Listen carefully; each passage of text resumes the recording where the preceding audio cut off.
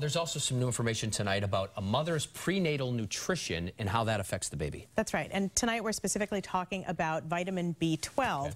And that's because new research suggests that children born to mothers with B12 deficiency are more likely to have elevated levels of leptin. Now, that's a hormone that tells us when to stop eating. And when it's high, that may put these children at higher risk of type 2 diabetes. Now, more research is needed before official recommendations are made.